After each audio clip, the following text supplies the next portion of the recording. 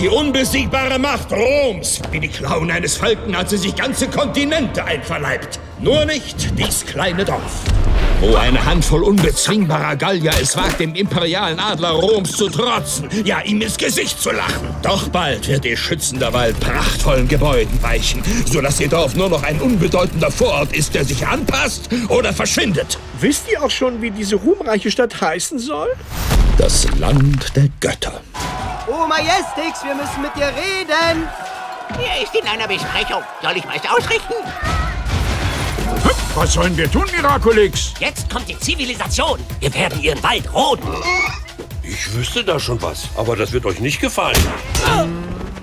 Aua. Wir sollten den Römern eine Abreibung verpassen. Das war auch meine Idee. Hatten jetzt alle vom Zaubertrank?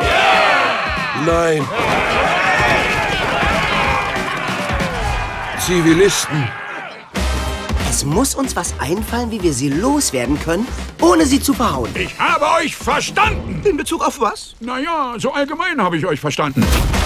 Was kosten denn Ihre Makrelen? Weniger als in Rom. Sonderpreis für die Römerstadt. 40 Sesterze. Kaufe ich, danke. Ihr seid alle Schwachköpfe geworden. Oh nein, wir waren schon Schwachköpfe, bevor die Römer gekommen sind. Was wird denn Cäsar dazu sagen?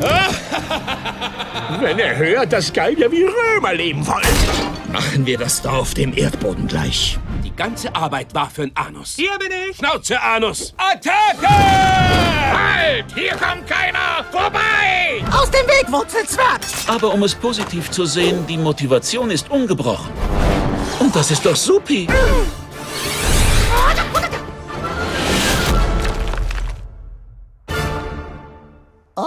Jetzt wird mir die Suppe versalzen.